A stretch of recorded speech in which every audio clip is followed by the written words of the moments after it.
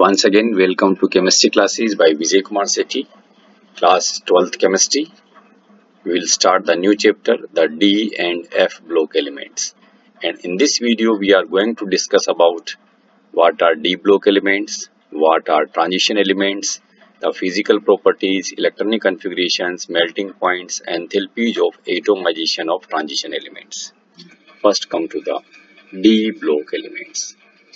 Elements of the groups belong to 3 to 12 of periodic table are known as d block elements. And in these elements, d orbitals are progressively filled. Clear? Electrons, last electron enters in the d orbital. And these are placed in four long periods and these periods are 4, 5, 6 and 7 periods. Generally, they also called as transition elements. And there are mainly four series of the transition metals. 3D series starting from scandium atomic number 21 to zinc atomic number 30. 4D series yttrium atomic number 39 to cadmium atomic number 48. 5D series lanthanum atomic number 57 and after that there is a break of 14 elements. And then hafnium atomic number 72 to mercury atomic number 80 6d series actinium 89 again there is a break of 14 elements. And after that rutherfordium atomic number 104 to copernicium atomic number 112 these are the four series Originally, the name transition metals was derived from the fact that their chemical properties were transitional between those of S and P block elements. Actually, S block elements are metals and if we go from left to right in the periodic table, then in P block elements which are on the right side of the periodic table, nature of elements changes from metals to non-metals. Clear? And these D block elements are in between these S and P. That's why these are known as transitional or transition elements. But nowadays, according to IUPAC, transition metals are defined as metals which have incompletely D subshell incompletely d subshell either in neutral atom or in their ions. This any metal which satisfied this condition is regarded as a transition element. Zinc cadmium and mercury of group 12 have full D10 configuration in their ground state that is in the neutral atom as well as in their common oxidation states. Generally the common oxidation state of zinc cadmium and mercury is plus 2 and in these oxidation state they have full D10 configuration. Hence these are not regarded as transition metals However, being the end members of the 3D, 4D and 5D transition series respectively, their chemistry is studied along with the chemistry of the transition metals. Various precious metals such as silver, gold and platinum and industrially important metals like iron, copper and titanium belong to the transition metal series electronic configuration of the d block elements. In general, the electronic configuration of outer orbitals of these elements is n minus 1 d 1 to 10 ns 1 to 2.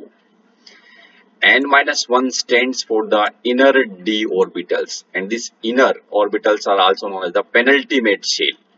Clear? d orbital belong to the penultimate shell and outermost ns orbital.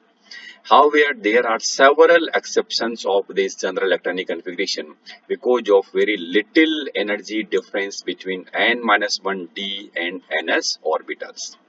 Furthermore, half and completely filled sets of orbitals are relatively more stable. That's why again we will get the exceptions of this general electronic configuration. For example, in 11th standard you have discussed chromium. Atomic number is 24. Its electronic configuration is 3d54s1 instead of 3d4 4s2 because in this case this d orbital is half filled and this s orbital is also half filled.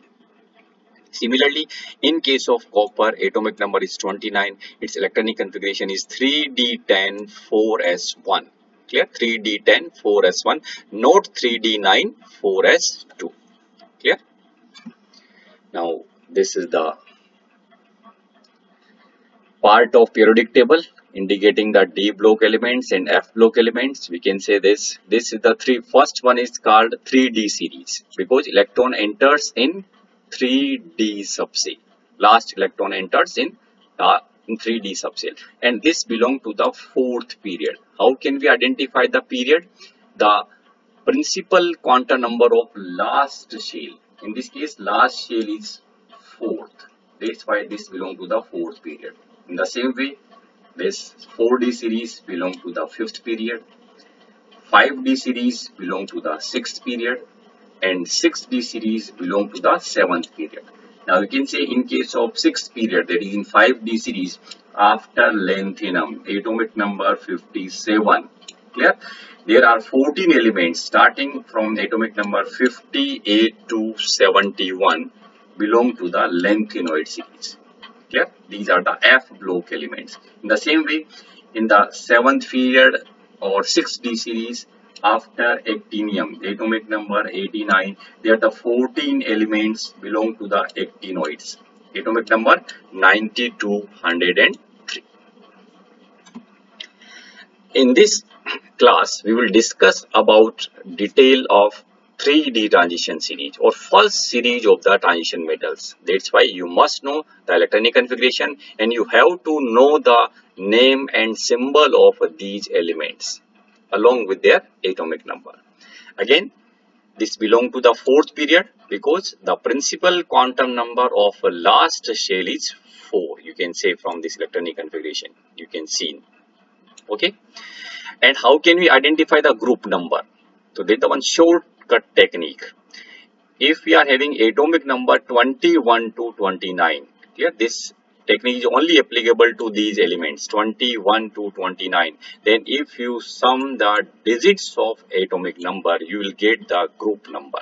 For example scandium. Atomic number is 21 if you add 2 plus 1 3 it means scandium belong to the third group. In the same way manganese atomic number 25 digits are 2 plus 5 7 manganese belong to the seventh group is it clear now how can you remember these elements? So there is the mnemonics I have prepared. You can also prepare yourself. This if we combine these two elements SCTI, we can say this is Shakti. Clear? SCTI, scandium, titanium. Then these three elements, vanadium, chromium, manganese, we can say this is Vikram. Okay, vanadium, chromium, manganese. Then next, iron, cobalt, nickel. This is Fe, Coni. Clear? Fe, iron, co, cobalt, Ni, Ni, nickel. Clear? And last one is Kujan. That is Cu for copper and Zn for zinc. Shakti, Vikram, Feconi, Kujan.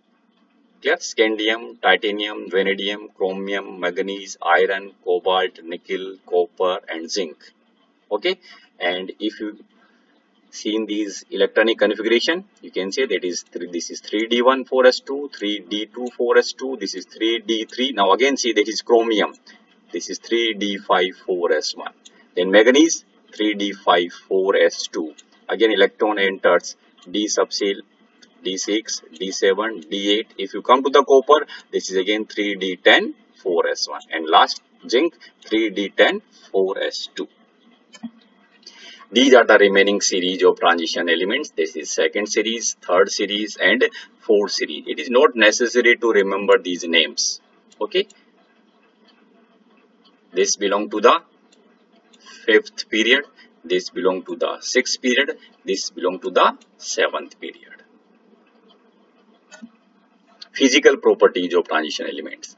Nearly all the transition elements display typical metallic properties such as high tensile strength, ductility, malleability, high thermal and electrical conductivity and metallic luster.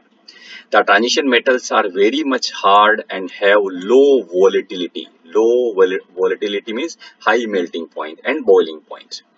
Their melting point and boiling points are high. The high melting points of these metals are due to the involvement of a greater number of electrons from n-1d in addition to the ns electrons in the interatomic metallic bonding. Actually, in metallic bonding, not only outermost shell electron, that is ns electrons, even n-1d electrons also take part. More the involvement of number of electrons, more stronger the metallic bond. You can say this metallic melting points of these transition elements in this graph. Okay, in any row, it may be 3D series, 4D series or 5D series, the melting points of these metals rises to a maximum at D5 except for anomalous beam value of Mn and Tc and fall regularly as the atomic number increases up to D5 number of unpaired electrons increases. That's why melting point will also increase. This again you can say bar graph melting points of the fourth period of transition elements.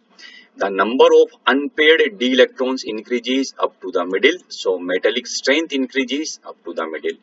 The dip in melting point at Mn can be explained on the basis that it has stable half-filled configuration, so electrons are held tightly, so delocalization is less and metallic bond is weak. Enthalpy of atomization, clear? That is, this is also known as the enthalpy of sublimation. Solid metal is converting into the its atomic form in gaseous state clear whatever the heat we supply that is known as the enthalpy of atomization. And they have high enthalpy of atomization. Again this enthalpy of atomization depends on the strongness of metal bond. Clear? You can say same pattern as in case of melting point the maxima at about the middle of each series indicate that one unpaired electron per d orbital. Clear? One unpaired electron per d orbital is particularly favorable for strong interatomic interaction. Meaning, more the number of unpaired electron, more stronger the bond. Okay, and more stronger the bond, more the enthalpy of atomization. In general, greater the number of valence electrons, stronger is the resultant bonding. Dear student, thank you. Subscribe my channel